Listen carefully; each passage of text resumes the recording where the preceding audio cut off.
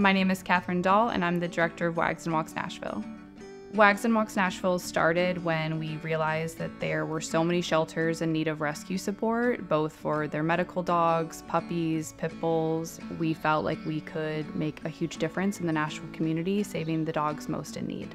Partnering with Ranger Station made so much sense. I have always been a fan of Ranger Station myself. I used it in my home. I use Jordan's perfume. It's my favorite. At the adoption center, we wanted to have people come in and have a nice scent. Always exclusively burned their scents here as well. My name is Abby Smyers and I am the development and partnerships consultant for Wags and Walks Nashville. I knew that we could trust Ranger Station to make a really great product with great ingredients that not only are going to smell amazing but are going to be safe for all of your pets.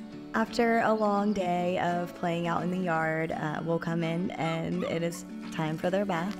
And we will use the pet shampoo. It smells amazing and the scent lasts forever. Since you don't want to bathe your dog every day, the deodorizing spray is a great way to freshen things up in between baths.